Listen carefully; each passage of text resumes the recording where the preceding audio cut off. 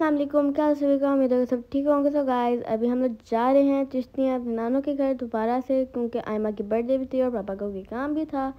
इस वजह से हम लोग दोबारा जा रहे हैं और आयमा की बर्थडे थी फिफ्टीन नवंबर को, लेकिन हम लोग उस टाइम पे नहीं जा सके क्योंकि उस टाइम पे हमारा स्कूल भी था, उसको छोड़ नहीं सकते थे। और उसके बाद फिर हम लोग गए थे सेवनटीन को फ्राइडे वाले दिन शाम टाइम सो so, अभी मैं जहाँ जाऊँगी और जाके पहले तो आयमा के लिए हमने गिफ्ट भी लेना है क्योंकि रात हो गई थी हम यहाँ से ले नहीं पाए थे। मम्मा भी बिज़ी थी और पापा भी थोड़ा सा बिज़ी थे इस वजह से। सो so, अभी मैं पहुँच चुकी हूँ चिश्तियाँ और अभी मैं जा रही हूँ अभी स्टाइलों पे आयमा के लिए कोई शूज़ वगैरह लेने। और स्टाइलों पे पहुँच गई और उसके बाद मैंने अपनी थोड़ी सी कोई क्यूट क्यूट सी पिक्चर्स ली उसके बाद मैं घर पहुँच के भी आयमा मेरे साथ एक प्यारी सी क्यूट सी पिक्चर ली जो मुझे बहुत अच्छी लग रही है। उसके बाद रात हो गई थी तो हमारी गुड नाइट होगी गुड नाइट और उसके बाद नेक्स्ट मॉर्निंग हुई तो वेदर बहुत ही प्यारा था। इस वजह से फिर मैंने इसकी भी एक पिक्चर ले ली, इतना क्यूट सा लग रहा था। उसके बाद फिर से मैंने अपनी बूथे की एक और पिक्चर ली, अपने बूथे की। और ये देखे मुझे ये प्लांट्स इतने प्यारे लग रहे थे तो मैंने इनकी भी ली। फिर उसके बाद हमने खाई कॉर्न जो बहुत ही मज़े की लग रही थी उस टाइम पे। और फिर थोड़ी देर बाद आया वो चनों वाला, फिर हमने उसे ली थोड़े से दाने वगैरह। मैंने ली थी प्लेन मूँगफली, जो अच्छी लग रही थी मुझे और फिर मामी ने रात में बनाया था पास्ता जो बहुत ही मज़े का था। तो मैंने वो खाया, उसके बाद हम लोग चल पड़े दोबारा से जाने, स्टाइलो वगैरह जाने के लिए।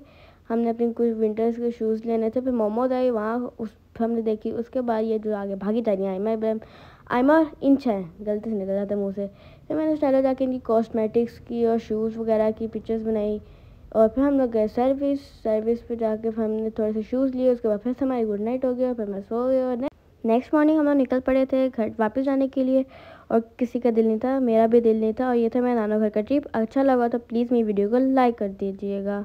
मेरा नानो घर का ट्रिप जो मुझे इसमें बहुत ज़्यादा मज़ा आया था और अब मेरी आवाज़ से चेंज हुई है क्योंकि मुझे था फीवर अभी भी है। नहीं है मतलब नज़ला वगैरह हुआ हुआ है। बहुत ज़्यादा हुआ हुआ था। मतलब मंडे वाले दिन मैं स्कूल की शाम टाइम मुझे इतना ज़्यादा फीवर हो गया था। उसके बाद ट्यूसडे वाले दिन भी मुझे फीवर था और वेनसडे वाले दिन मेरे नाक में बहुत ज़्यादा दर्द थी और आज भी बहुत ज़्यादा थी। लेकिन आज मैं पहले से बहुत ज़्यादा बेहतर हूँ तो आज मैं फिर भी स्कूल नहीं की थी। आज हरा मिर्चा की थी वेनसडे और ट्यूसडे की छुट्टी उनकी भी हुई है। क्योंकि इंचा के ना पाँव पे बहुत ज़्यादा चोट लगी थी, उसके डर लग गया था ना तो उसके बहुत ज़्यादा चोट लग गई थी। और हरम अकेली थी तो हमने उसको भेजा ही नहीं स्कूल।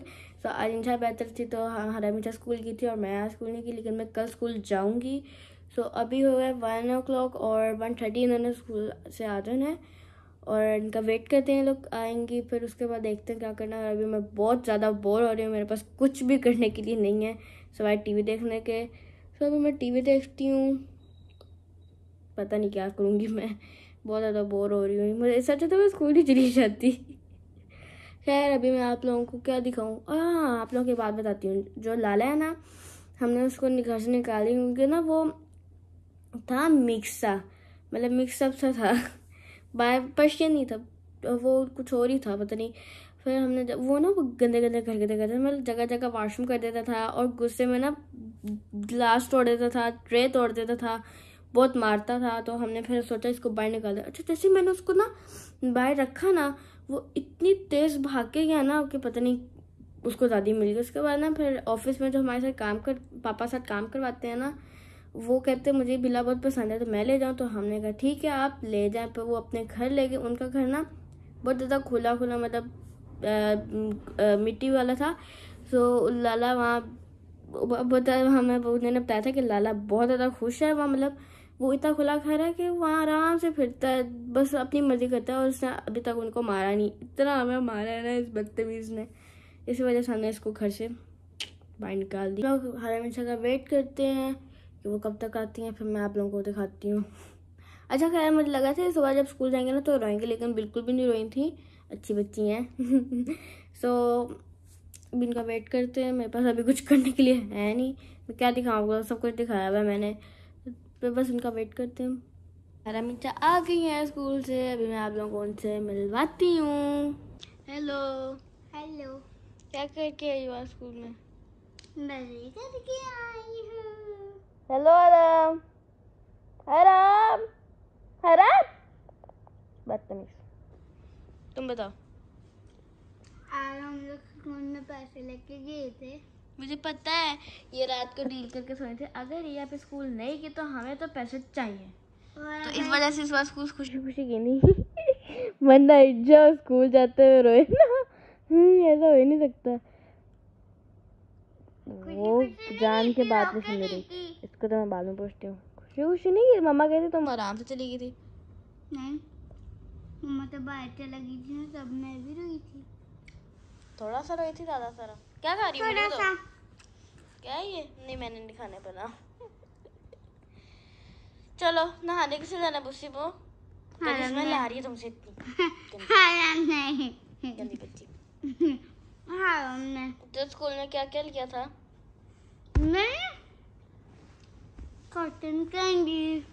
अच्छा पहले खा तो लो फिर बताना ना। खा लो। आराम से खाओ।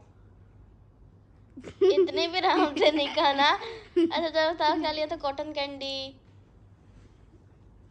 और लॉलीपॉप कितनी? टू और? नहीं वन क्योंकि एक कॉटन कैंडी भी ली थी मैंने। अच्छा ठीक है और? हम्म, पापड़। और सीढ़ियों के बैठ के बताओ तो और दो चॉकलेट। बस। और कोकोमो। बस। दो कोकोमो। बस। हम्म, इतना सब कुछ ठूस के ऑरेंज भी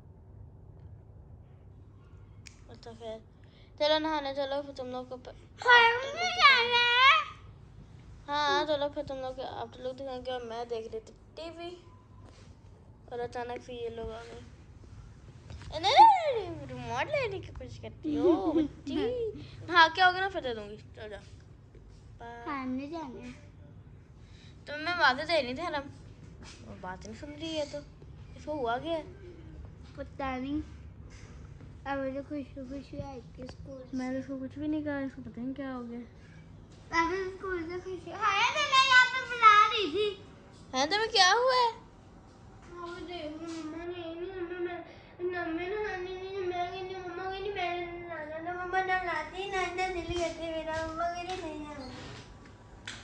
क्या कह रही है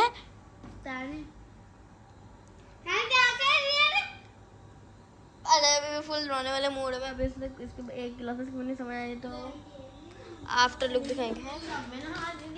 और ना मैं दूध दे रही मैं कह रही हूँ मम्मा कह रही मैंने लाना तो मैं मम्मा ने लाती क्यों है?